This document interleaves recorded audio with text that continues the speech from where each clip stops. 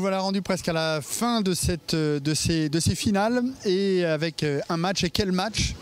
Une quarantaine d'années séparent les deux prochains adversaires, Chris Vialet et euh, le très jeune Karl Encloud, simplement 15 euh, ans suédois. Euh, avec nous, Matt, Matthew. Uh, thank you for being with us. Matthew, that's again, that's a big rendezvous between uh, a 15 years old guy and a very experienced guy as well, Chris uh, Vialet. Yeah, it should be a good match. You have uh, youth power and urethane against uh, a crafty veteran who's a proven winner. He's a great shot maker and he's very, very determined. He's probably one of the hardest players I think I've ever bowled against in my career. So it's going to be a very, very good match, and I wish both the players the best of luck. And what uh, the player is going to have to do to go to the final? Uh, lots of very, very high level quality shots. That's what it's going to take. It's just going to take a lot of great shots and maybe uh, some good fortune. Pour aller en, en, finale, il faudra un peu de chance, mais surtout beaucoup de talent. Eh ben, C'est ce qu'on va voir euh, dans un instant. Okay, thank you once again, Olivier and Matt, for that analysis. And here we are with the semifinal match of this Masters Series our 21st of 22 videos we'll be bringing you as part of the bowling promotion tour. And here's Chris Viale coming off his 279 to 200 win against Nora Johansson, taking on Nora's countryman Carl Eklund, just 15 years old and full of power. And this is going to be, we think, an exciting match here. Let's see if Christopher can pick up where he left off which was all strikes except for one shot. And sure enough, beautiful pocket strike there by Christopher Viale. And now let's get our first look. He says, I got your number, Mr. Eklund. So already, Christopher Viale, ever the tough competitor, looking, staring down Carl. And let's see how he responds. Carl, the powerful, and watch this backup ball he throws. And this has to be one of the most powerful backup balls we've ever seen. Got around that one. Comes up a little bit light for a 3-9 start. Once again, Carl just 15 years old, and look at that. Flexibility and power just didn't quite turn the corner, but the 3-9 split, and we have seen Carl come at various spare combinations in multiple ways. Let's see how he tackles the 3-9. And again, it's the backup shot and curves right into it. Beautiful spare there by Carl Eklund. And as we said, the winner faces Daria Pajak for the title. Our second to last match will be bringing you as part of the 2021 Bowling Promotion Tour sponsored by QubicaAMF. Bruce Hall with you. I'm the international voice of these matches, and it's my privilege to call these very exciting matches for you. Carl taking a small break here. Uh, is he checking the score? What's going on? Uh, I guess we're all set now to go. And Carl, let's see what he can do on this left lane. Now, the left lane has been hooking more for the right handers. And quite often that means it's hooking a little bit less for the lefties, but there's a perfect pocket strike there by 15 year old, can't stress it enough, 15 year old Carl Eklund. And look at the power he gets out of that shot with his right hand fingers in the backup position. Got to be one of the more dominant backup balls, as we said, we've ever seen. And here is Christopher Viale on the right lane. Really, you combine Nora Johansson's power and two-hander with Carl Eklund's unique backup style. There's a couple of very, very interesting players coming out of Sweden as being showcased by this bowling promotion tour. And Christopher, look at that intensity. He's on the right-hand lane, a little bit tighter and a little bit high for a four pin. And there's a, got to consider that a break for Eklund because Viale has barely missed in his matches here. And we see his shot there right over the middle. Just turned the corner a little bit too hard, leaving the, just the four pin. Christopher, of course, from the New England area in the U.S. and a prominent player in getting bowling into the Olympics. President of the New England Bowlers Association and numerous other involvements in the game. And of course, in his spare time, he's the president of Cambridge Credit Counseling, a credit counseling service for folks primarily in the U.S. So here's Viale. You can see that pin up Zen designed to get down the lane and then respond to the friction. A good ball for playing in like Christopher is doing. And that is very deep. Gets it out. Comes up a little bit late. Rips the rack. And give him the strike. And now Eklund has a chance to take the lead here. A little bit like just hits the five pin over into the 4 7. And there's that blower strike we're looking for. Sometimes you leave seven pins on hits like that. But a very good result there for Mr. Viale. And here's Eklund now on the right lane.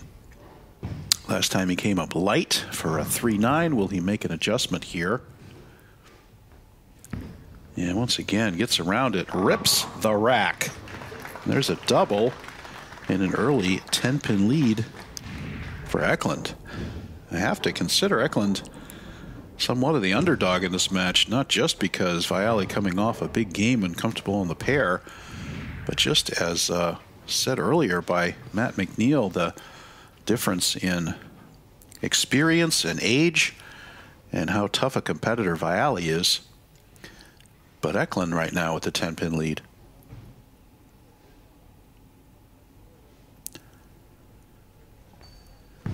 And another good looking shot. Three absolutely perfectly flush strikes in a row for Eklund.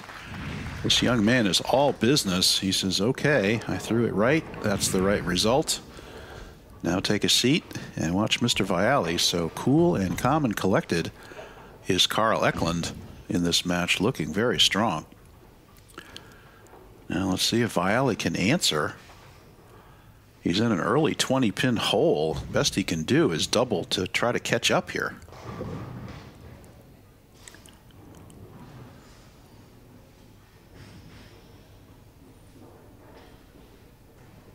and carefully approaches the shot. A little bit right of his target there. Comes in a little late on the tighter lane and almost leaves the 710 but ends up being just the weak 10 he's like how come that ball didn't turn the corner? And unfortunately that lane a little bit lazy if you miss out to the right. And so Viale will face just the 10 pin to stay 20 pins behind And unfortunately, a flagged 10 pin there for Viale is going to put him in an early hole. Namely, 32, pin 32 pins down already for Viale by virtue of the fact that that ball hooked just a little bit by the 10 pin. Very unusual to see Christopher miss a spare like that. But unfortunately, that's what happened, and now he's in a deep hole. Better start striking right away against the powerful Eklund.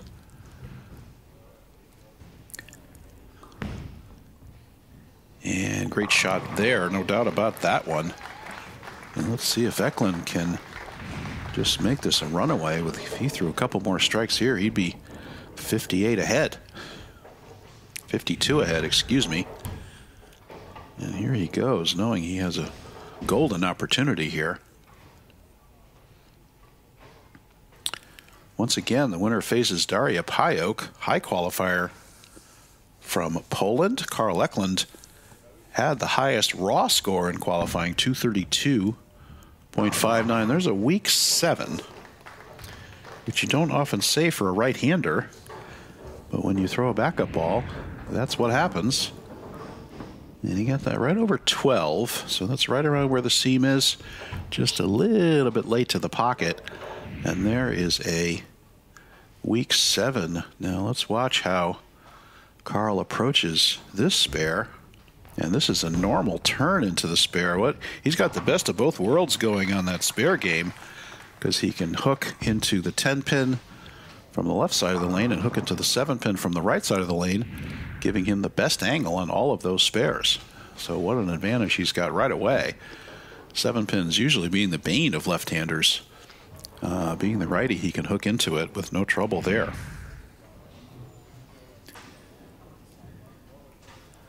Thirty-one pin lead now for Eklund, but Viale working on a strike. And let's see if he can get himself back in the match.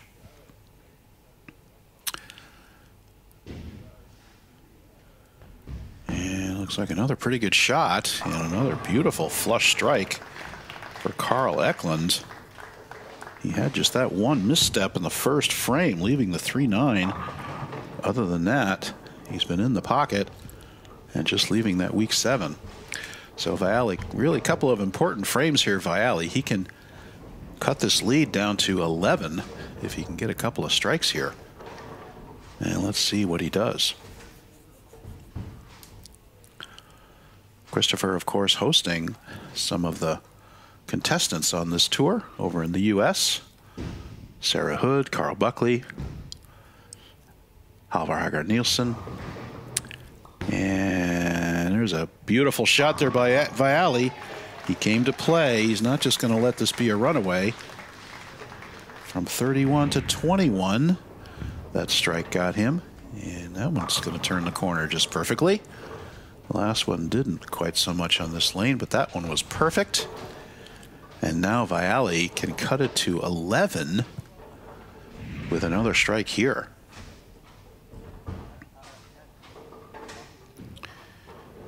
He has not missed on this left-hand lane. His problems have all been on the right lane, which he managed to strike on last time for the first time in the match.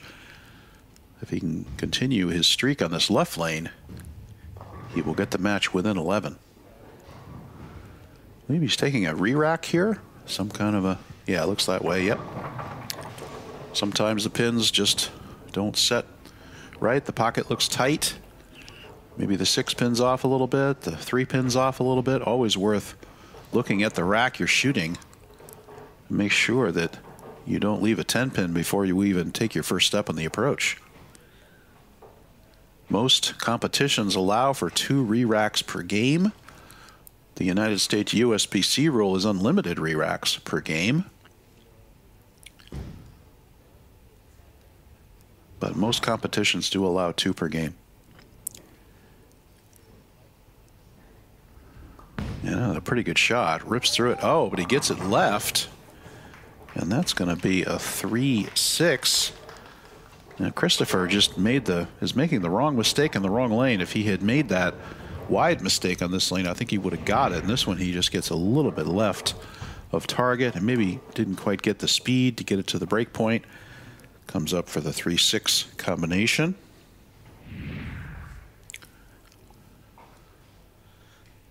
And very important spare here for Christopher, and unfortunately gets the chop.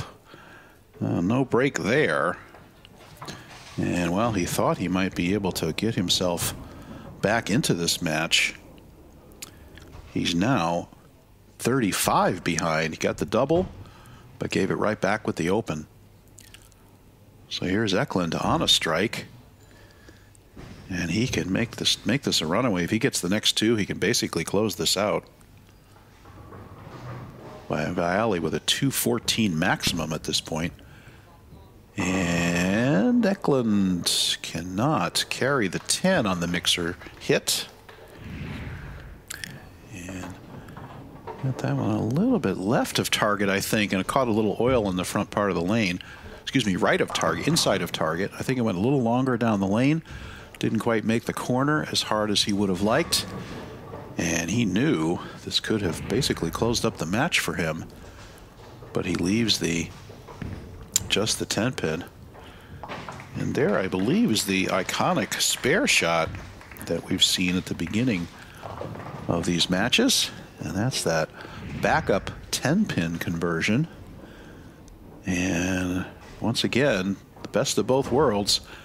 If you can throw a backup to the right hand spares and your regular shot to the left hand spares, Amy Viale also takes that approach, and it definitely can help increase your spare percentage, but it does require some practice because the backup shot is not always as natural as the as the four shot. So another beautiful shot there by Eklund.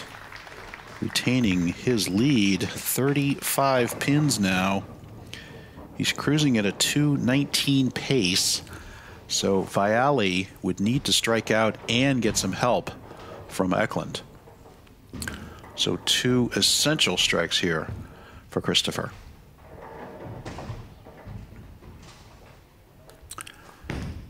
Right over fourth arrow and a little bit late. Gets the rolling two pin. And that was the break he needed right there.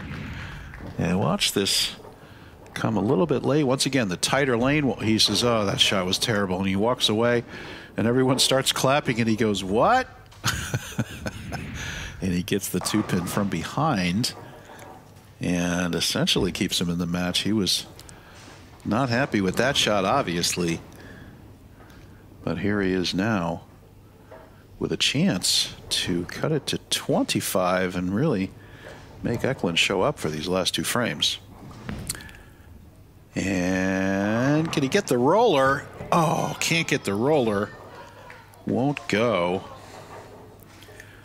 And now Mr. Viale may be done in this competition. His 214 maximum just went down to 194 by virtue of that miss. He converts the spare, but a 194 maximum now for Christopher Carl Eklund really just needs to show up in these next couple of frames, and he will face Daria Pajak. And very, very quick to the shot. There's the slap seven. And that will do it. Carl Eklund, that's all he needs to advance and pull Daria Pajak for the finals of this 2021 Bowling Promotion Cup Master Series. Once again, shout out to Bruno Bedone and his crew for the wonderful production job they have done putting on this this competition and producing the videos. There's another strike. Eklund taking a victory lap now can visit bowlingpromotiontour.com for information on the 2022 Bowling Promotion Cup. Contact Bruno and ask about that. He's signing up players right now. They film in September. And a wonderful time by anyone who's ever gone. And Eklund bowling it out here. An inconsequential split as Eklund has won this match handily. And Christopher just had some bad luck on making the wrong mistake on the wrong lane, had one miss spare, and there's a 235 game for young Carl Eklund, just 15 years old, will now face Daria Pajak for this Masters title. And we'll watch Christopher bowl this out. And he switches balls now. Unfortunately, well, that ball did not quite make the corner. And Christopher's going to end up with the spare in the 180s. Once again, Bruce Hall with you. Thanks so much for watching these matches. Tune in for the final. Daria Pajak against Carl Eklund. That should be some fireworks on that match. And once again, we'll see how Daria responds to the lane play that's gone on. She's going to be in the same zone as Christopher. And will she be able to overcome? And here's Viale moving to the left hand. And boy, that's a pretty good release. And gets the trip six. And like we said for the week seven for the righty, we don't say trip six very often for the for the right-hander. Uh, an interesting finish there by Mr. Viale. So 182 final. Everyone, please stay tuned for interviews with the participants, and we will see you back here on this same YouTube channel for the final. It's Eklund versus Pajak. Take care, everyone.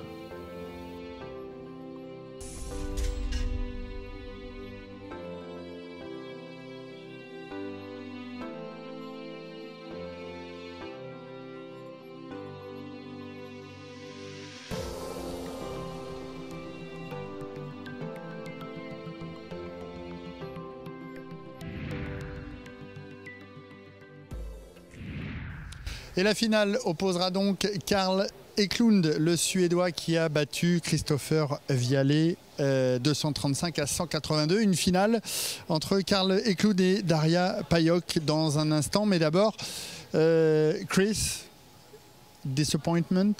Or was it too good for you? All good. He just had a he had a good look and played good. That's all. I'm happy. Il a bien joué, euh, Karl a bien joué, et donc eh ben, c'est la, la logique qu'il a emporté. Et are you're happy to win this game and be in the in the final? Yeah, of course. Yeah. It was. Uh, What made the difference in this game?